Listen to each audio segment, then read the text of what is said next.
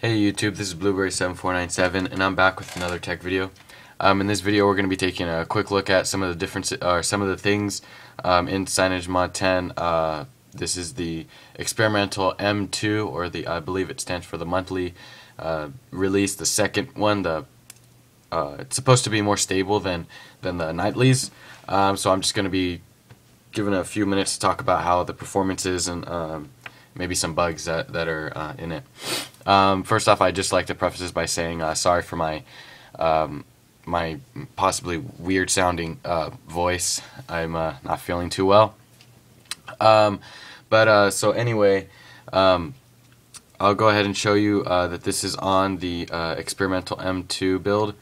Um, so it is based on, uh, I'm guessing, Android 4.1.2 since that's what the uh, Android version is. Just in case you're wondering, the Easter egg is still the same since it's based on Android 4.1.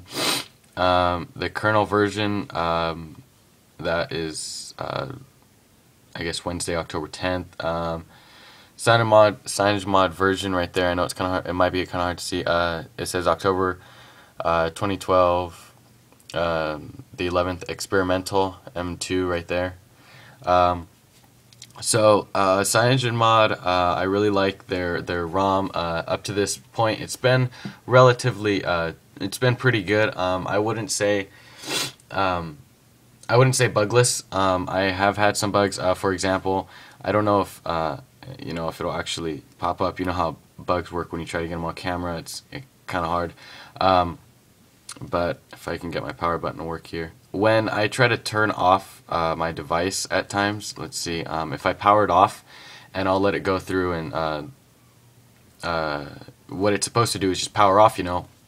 And what happens though is, okay, so as I'm talking about it, it doesn't do it. Um, but there are times when I turn it off, and I don't know if um, any of you CyanogenMod 10 users on your Nexus S are experience this, but when I turn it off, um, it gets stuck at that. If you saw that, how that little wheel or uh, circle kind of uh, spins around, it gets stuck right there. And um, I have to just take out the battery because uh, there's nothing I can do. I can't back out of it or anything. It just gets stuck.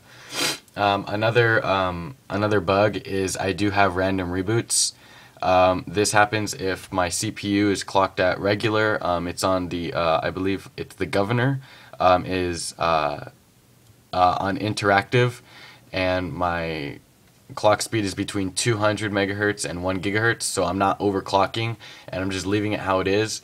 Um, for example, uh, a few minutes ago, I was actually I was on a phone call, and the phone cut out, and I had to see what was going on, and I noticed this boot screen, so the phone just reboot when I was on the phone.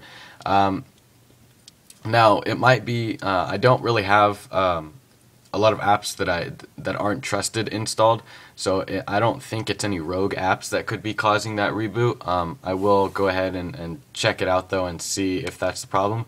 Um, and uh, it does also happen though that random reboots are more. Um, I have noticed in my experience are more likely if you have it overclocked to 1.2 gigahertz uh, or higher um, if I if I have it overclocked to 1.2 gigahertz, I'll get anywhere between two and four random reboots in a in a given day, and those mostly happen when the screen is off. So if I have it uh, overclocked to 1.2 gigahertz, the screen it's off, it's either charging or not, and I go to wake the screen, it'll kind of freeze, it, it won't wake, and you'll just see the the spinning logo.